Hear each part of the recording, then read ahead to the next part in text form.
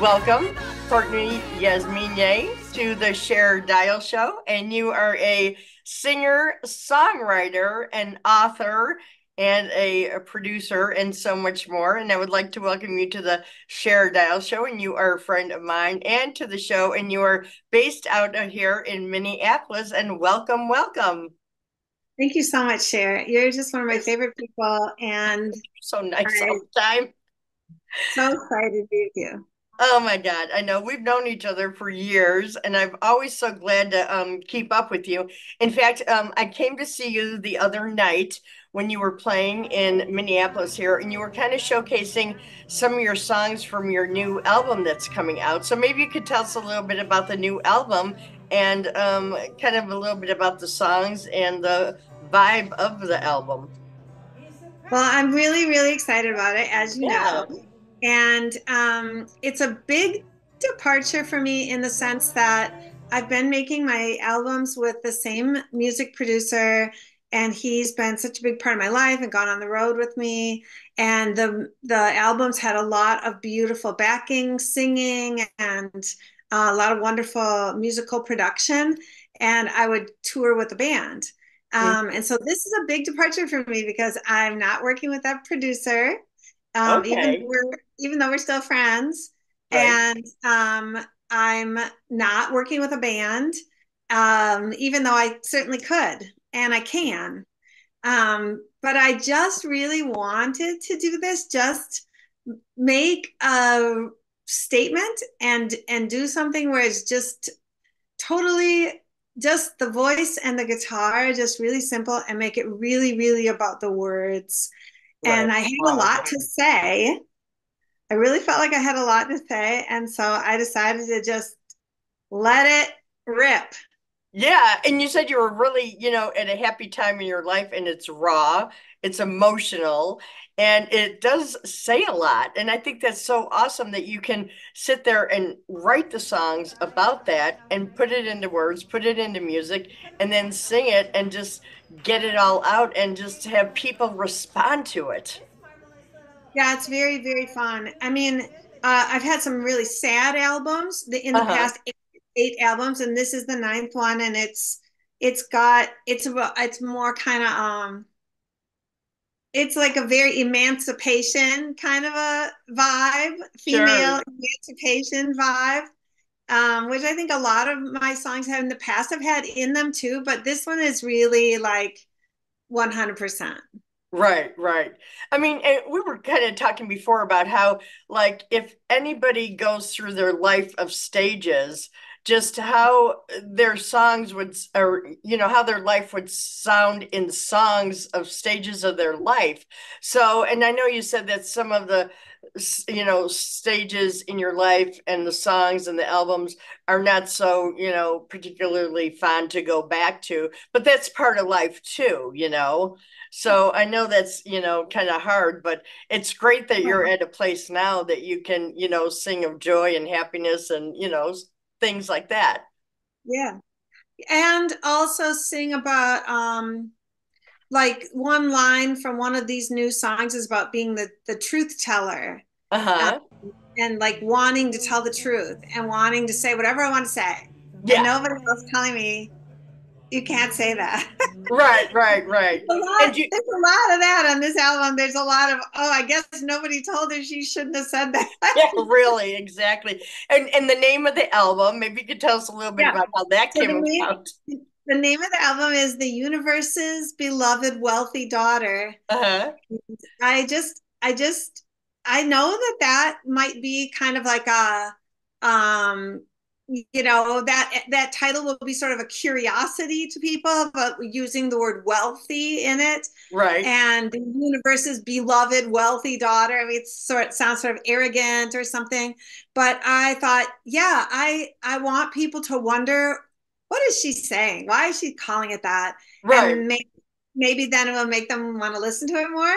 And to me the theology behind saying that is from the the last song is a song I used to sing when I was little in church. It's the old it's a um in public domain an old hymn from the 1800s and it has this great and a lot of people know this song it has this great line that says all things are mine for i am loved mm. how can i keep from singing nice. and i feel like it's the that's that line is like all things are mine because i'm loved it like i believe it was my creator whatever you want to call it. My creator and i are co-conspiring for my wonderful life. And and anybody can have that. And anybody can say that. And it doesn't matter what religion you are or anything. Right. and then to say that your your wealth is that i was always saying i was a starving artist or a s- struggling artist um, that i was hoping someday to have success or hoping someday to have fame and fortune and i decided to just change that story for myself and just say I'm doing it, man. I'm totally doing it. And there's wealth in my my body of work is wealth. Right. And my health, my good health is wealth. And the fact that I was able to write a whole album of new songs is my own version of wealth. Yes. Definitely. So I get to say it if I want to, and anybody else can say it themselves too. I mean, that's what I admire about yeah, you. That's the idea. Right, because I followed you for years. And I mean, that's what I, I really do admire you because yeah. you just put it all out there. You keep going and and you just keep on going. And what gives you the drive to just keep going? Because sometimes it's got to be hard, you know what I mean? And and you yeah. just keep going, you know? Yeah, I think it's that and I think this is another part of the universe's beloved wealthy daughter is that I think I've I, I, I it's like I turned a corner on the whole thing and I realized that I wrote the first song that I wrote for the public, I was 10 years old and I got to sing at this acoustic service at the big church in Chicago that I went okay. to and I was in the church choir. And they told me that you had to have written it yourself or you had to sing a sacred song. Really? But you couldn't sing like a secular song, like a song from the radio. And so I thought, okay, I'll just write my own. That's oh cool. and I did. And and I was only 10. And I loved that experience so much. Like my name was in the program and it said an original song and I played on my guitar. And I just thought it was cool as heck. Right. And I I never let for whatever reason, I personally never let go of that. That was the dream for me personally. Every time I'd go to see a big concert and I'd see someone famous um, performing, I would say to myself, "Ah, oh, how did they get to do that? Ah, oh, how yeah. can I get from here, sitting in the audience, to being up there on the stage?"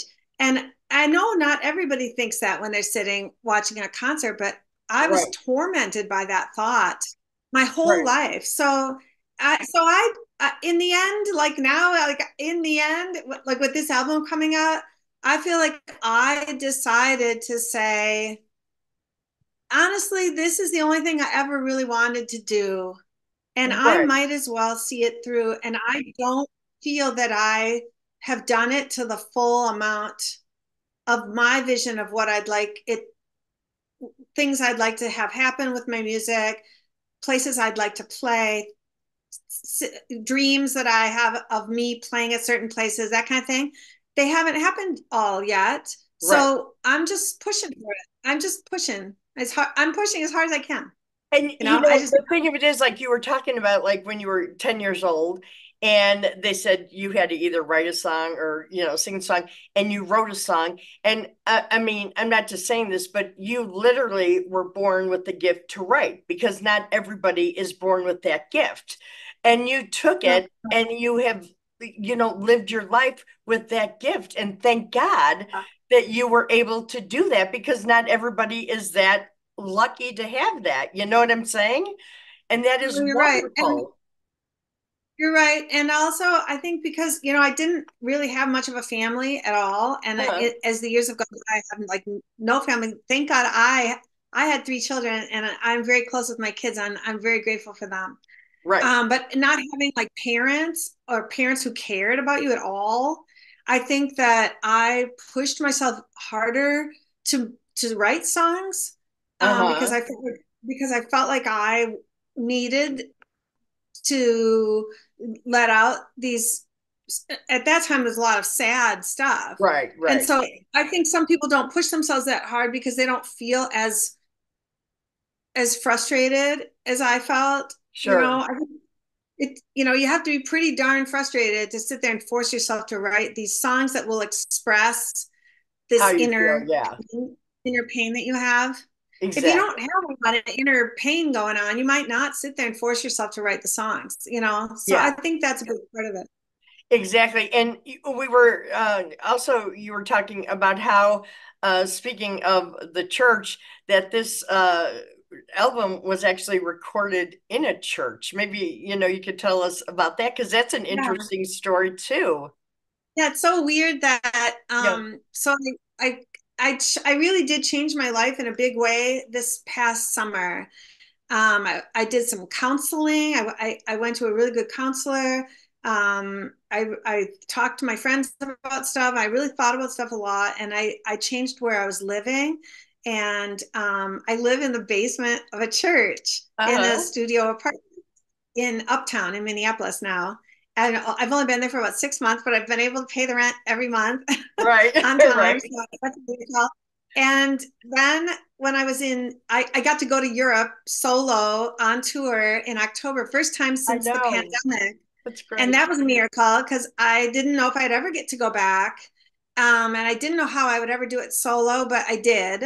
And it turned out that some of the places I played that were the most meaningful that my fans who remembered me from 15 years of touring um, were churches that would have these like songwriter series uh, concerts. Uh-huh. And um, in one church in particular, I played in October of 2023. And they didn't we didn't use any microphones or anything we just used my acoustic guitar and my voice and we all my old fans who i've known for a long time we all loved that concert so much that that was when they got the idea they were like what if you what if you did a solo album with this sound like the echo of a of a church chapel and uh-huh. they talked about me staying in germany and doing it there and i was like no that's never going to happen but I think I can find a place in Minnesota. And so so I did. The the home church that I've been a part of um, in the Twin Cities, they were great about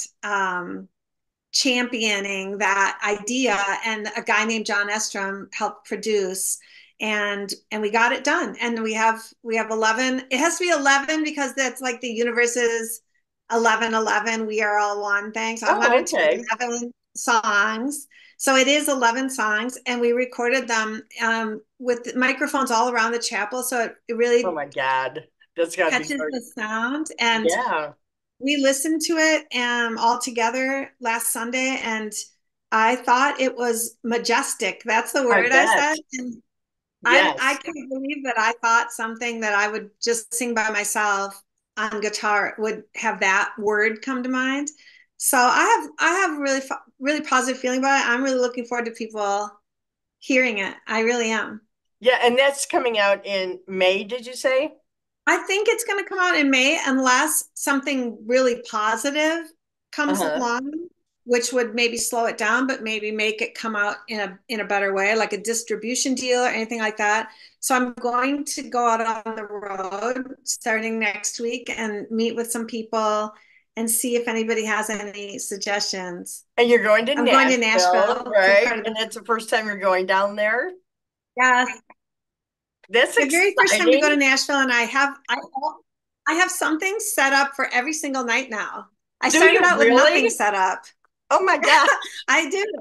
I do. I have like a songwriter in the round thing one night, right. and I have like a like a featured artist at an open mic another night. I mean, just small casual things, but I get to play every day that I'm there. So oh my God, you're going to be perfect down there. You'll fit in perfect down there. I can't wait to hear all about it. I know. I can't wait to. Yeah, definitely. And then um, you're going on a European tour, right? Yeah, in August this time. I let I let my best fans and promoters uh, over there uh-huh. uh, decide when I should come back. I was like, when is the very best time for you guys? And they said we'd really like if you came um like near the end of August. So it'll be like August into September. I think I'll be there a month. Okay, you know solo. I know. So now I was because this is just like uh, this is like something I wonder. So now, do you book yourself over there? Uh, you do book your dates yeah. over there, and then when you get over there, do you rent a car and go to di- the different places yourself, or how does that work? Because I've always well, wondered how that I'm, works. I'm way too scared to drive. Okay. I'm way to drive anywhere, but especially in like a foreign place. So I never drive, but um, I've either been with a band in the past, uh-huh. and then the band guys have driven. Um, but what I'm doing last fall, I rode the trains. Um, I I oh, did oh, wow. 25 shows in 28 days in five countries, oh, and I was alone. I, I but every place I went, there were wonderful people that I knew, and there were people helping me. Right. Um, but this time I'm gonna do it. It's a little smaller circle. I can only be like three countries. And um, so, what countries I, are you going to? So I'm mostly going to be in Germany, Belgium, and the Netherlands, and okay. that's where I really have great fans who I've known now for a long time who've liked a lot of the albums. They know a lot of the songs, uh-huh. and it's very fun. Very fun oh. to go play for them. That is great. Well, um, did you want to maybe play us a song from your upcoming yeah, album? oh my god, I am so excited. Okay, so, do you want me to play the like the little bit more fun one, or do you want me to play the "Mama, I Think He Loves Me" one? I love that one. Yeah, is that the one you like? Yeah, I All love right, that one. Let me drink some water really quick here, and sure. then I'm gonna play that. So that song, this the album chronicles. Mm-hmm the album chronicles this big shift in my life and it it my my love life uh, my, my love life as well okay and so this is a this song tells a true story that just happened um with my my mom i went to visit my mom and really and this is what i talked to her about and i wrote this song just in like january i mean this just happened oh my mm-hmm. god how cool I love it. Hear the guitar okay? Yes. Okay, here we go. Mama, I think he loves me, but I don't know for sure. Mm. I'm so glad you're still around, so we can comfort. Mama, I think he loves me, but it's so hard for me to know. We both been burned by man we loved. That was a long time ago. And mama, he's got these sweet talking ways, kisses all on my face, buries his head in my neck, closes his eyes with a smile on his lips. When we're together, his hands are always holding mine, always holding mine all the time. So I sit with my mother in the waning light. And even though she's 90 years old, she still lives on her own. And I love her more than ever. She seems to have forgotten that she used to hate me. That's fine by me. She says, Honey, why are you crying? Did this man hurt you? And I say, No, not yet, but I'm sure that he's going to. And I should probably just end it now and avoid all the heartache and pain. My mama shakes her head, looks me straight in the eye, says, You're my own daughter, and you've disappointed me a thousand times. And I may have disappointed you a time or two as well. We all hurt the ones we love. It's something we all have to learn to rise above. Why don't you stick around and see how bad it's going to be? And then you can decide if he's worth all the heartache and pain. Mama, I think he loves me, but I don't know for sure. I'm so glad you're still around so we can comfort. Mama, I think he loves me, but it's so hard for me to know. We both been kicked around by love, but that was a long time ago. And he's got these sweet talking ways, kisses all from my face, buries his head in my neck, closes his eyes with a smile on his lips. When we're together, his hands are always holding mine, always holding mine all the time. So I sit with my mother in the waiting light. And she says, Don't cry, it'll be all right. Just see where this is leading. He may give you something to believe in. Mama, I think he loves me. I don't know for sure. I'm so glad you're still around. So we can comfort Mama, I think he loves me, but it's so hard for me to know. And I'm so glad we had this time today.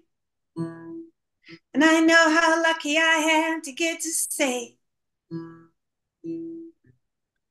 Mama, I think he loves me.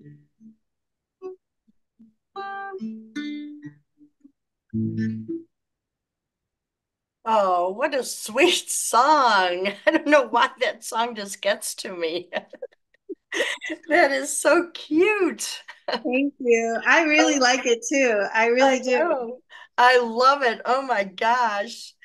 That is so cool. You know, um, I had mentioned earlier too that you are an author. Are you in the works of any books at all? Yeah, well, I have the um I as as maybe some people know already, I have the book that's been out for a while now on Amazon and it's been a bestseller for the whole past year, which is cool. It's called it's called Sydney, the coldest place and it was the story that I wrote. It came out like maybe 5 years ago that tells about when I ran away from home and lived up in northern Minnesota uh-huh. and how I loved the music of Bob Dylan um, right. So, so that book has been great for me and really helped people understand my life a little bit better. Um, and so I've been thinking about a sequel. I wrote a couple different versions of like a sequel to that book. Okay. But, but neither of them do I feel great about. I feel like they're a little bit too I the next period of my life after running away was kind of a hard period. It was like in my early 20s. Uh-huh. And I just I just didn't I don't know. I don't feel like that's a, a it's like a not an uplifting enough story. Like right. I didn't really learn a lot of lessons during that time period. So the the stuff I wrote to try to describe that I don't think is really meaningful enough for people. So what I did do though that I am really excited about is I decided to make a um, 11 chapters for this new album. So there's going to be a book. I wrote it already. It's all done. Um, really? It's called The Universe's Beloved Wealthy Daughter. Okay. Every of the 11 chapters is the title of one of the songs. And so each chapter starts out with the title of the song and all the lyrics of that song.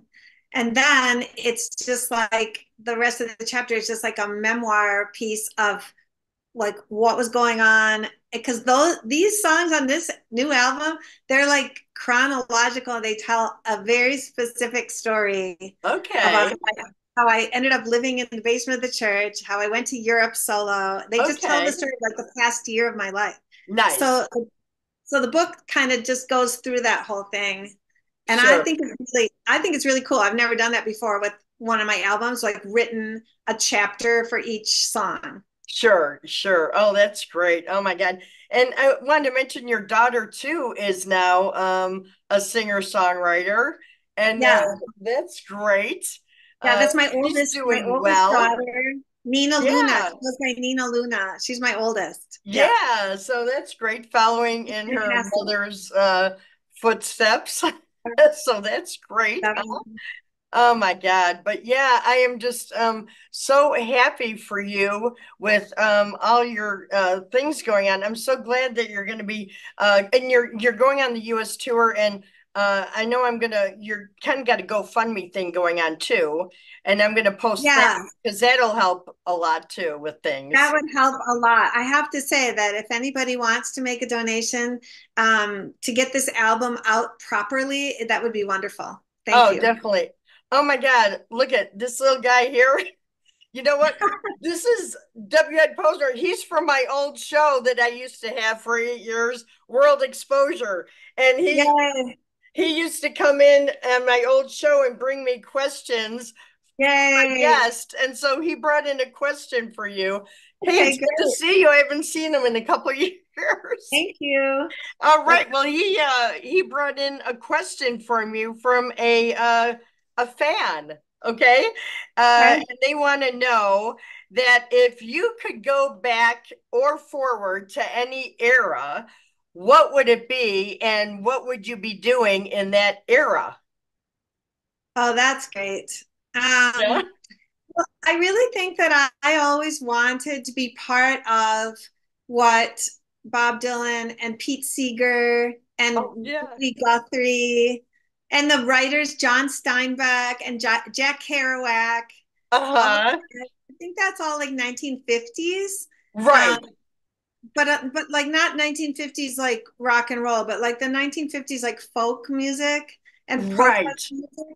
I I that's where I would go, and I like their clothes. I like those clothes a lot, so right. that's where I'd go. That's funny because like me, like I know people don't know this about me, but like I am like addicted to like old uh noir movies like Bette Davis, Joan Crawford, and I always look at their clothes and I go, if I could go back, I'd be an actress in in those movies era, you know, the golden era of television, you know.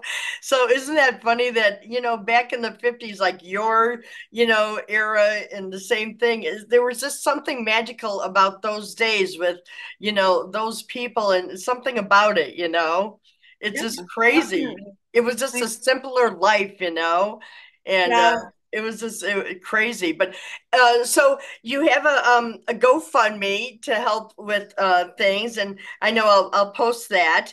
And then um, where can uh, people find out more about your music, your albums, and uh, everything else about Courtney? Okay, thanks for asking. I think the best thing to do, my website, CourtneyYasmineh.com, okay. is the best thing to do because it has all the social media links, has all the YouTube stuff. One thing that I feel like people don't realize is that I have a lot of music videos on YouTube, mm. tons and tons of music videos on YouTube. And if you just can go to YouTube and just put in Courtney Yasmineh, you could watch videos all all day and all night, I think. Right. And some of them are like filmed in Europe and some are filmed at South by Southwest and they're filmed all over the place. And I, I think they're pretty cool. So that's they are a fun, a fun suggestion is to go on YouTube and look up Courtney Yasmineh and see what you find. Oh, you know, definitely. I mean, I know I've uh I've looked up a, a lot of them too, and it's just uh like I love Red Roses and Cowboy Dreams. I love that song too, and that album. And yeah. uh, th- there's just so many good, you know, albums and songs of yours and everything. So I, yeah, I, people will definitely look him up. And I'm so glad that we had this time together to um, talk and reminisce and to uh, hear you sing. And like I said, it's always been a pleasure. And I'm just so happy and always so excited to hear all the great things and just to see you just flourish in whatever you do. I really, you know, I mean that, you know, and I'm just No, always just so um so happy to uh always, you know, see all the great things that you're doing. Thanks. And also the same to you because it's really awesome to be able to talk about what I'm doing with a person who understands what a, a lot of things about life and uh-huh. a lot of things about music and a lot of things about the music industry and a lot of what it takes and um, I really appreciate that about you you know that I get I get to talk to a woman Oh, yeah. who I, I feel like you you have the life experience yourself with all the cool things you've done that you can relate to what I'm doing. You know, I, really Yeah, isn't appreciate it something? Yeah, it's like a mutual thing with us. I don't know. We have this connection that's just just kind of strange, but it's cool. You know what I mean? Yeah, lucky. So, and like I said, I came to see your show, and if anybody gets a chance, please go out and see Courtney because I know you play around here in Minneapolis and check because you're going to be playing uh, around the uh, country and over in Europe, and uh, it's definitely a show not to miss. So thank thank you. once again for joining us here on the Cher Dial Show, and uh, we will definitely be in touch. Okay. I love you. Love you too, Courtney. Take care. Thank you. Bye Bye. bye.